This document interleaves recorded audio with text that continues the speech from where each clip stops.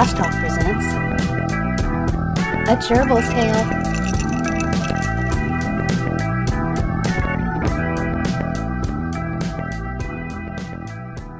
All right, so uh, I had this cousin who was kind of a brat. Um, he was raised by my uh, aunt, who was really too sweet to raise a child. So he he had everything, and would he was the kind of kid who would bring over something really cool and hold it behind his back and not let you play with it and all this, you know. But he wanted you to know that he had Oh yeah, yeah. You know, so he had, you know, he was like a big comic book collector. He'd come over with a stack of comic books, and wouldn't let you look at any of them. You know, unless you did. You know. Uh, okay, so you get the the picture here. So I Painted go, will.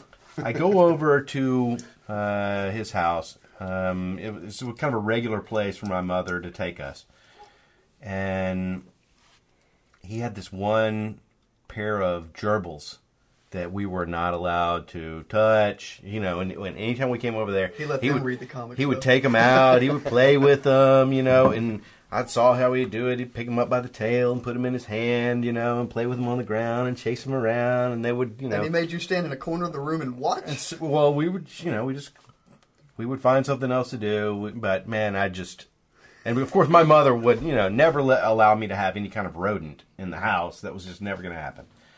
So I was just incredibly jealous. I wanted this gerbil bad. So we go over there one day and he's not there.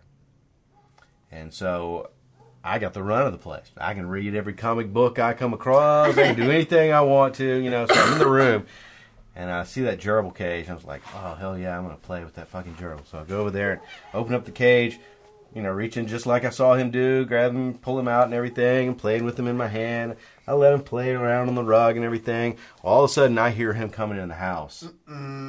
And I kind of panic. I got to get this thing back in the cage. So I go to pick him up by the tail, and he digs into the carpet. Right? He's not going anywhere. I don't want to, you know, and he seems like he's kind of starting to get panicky. I don't want to pick him up. I don't want this thing to bite me. I'm, you know, I'm very scared of this. I'm not used to him. So I'm pulling harder and harder on that tail. Right. He's getting closer and closer, and eventually the skin only of the tail comes off in my hand. Oh. So that now I'm looking at this bloody vertebrae stump of a tail coming out of the back of the.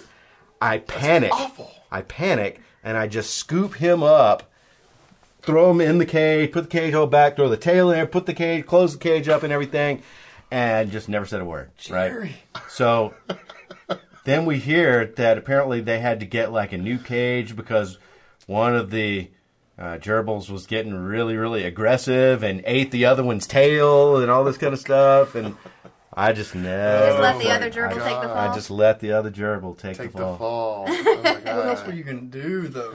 Really, like the I accidentally just- did that. Uh, actually, I took you've the, done that. Too? no, like oh, what would oh, oh, say? yeah, yeah, yeah, yeah. My bad. Oops. So you pulled the skin of the tail. Like, Yeah.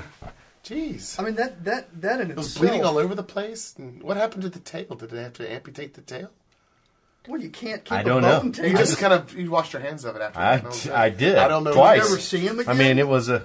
Huh? You saw him again though, right? Oh, yeah. They basically separated the. You know, they blamed it on the other little rodent and they had separate, separate cages. No longer got to live together. I Every broke up a marriage. Every know? time you came over, that one hamster would just stare at you.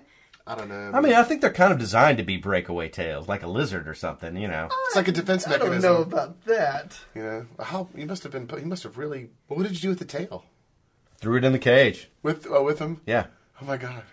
So they must have thought the other rat just like, you know. No, no. I think that the other rat ended up eating the skin of that tail. Okay. And uh, and- but they assumed that he ate it. So you know, like it's- directly off the bone. right? They thought that it Like was just, you know. Right. yeah.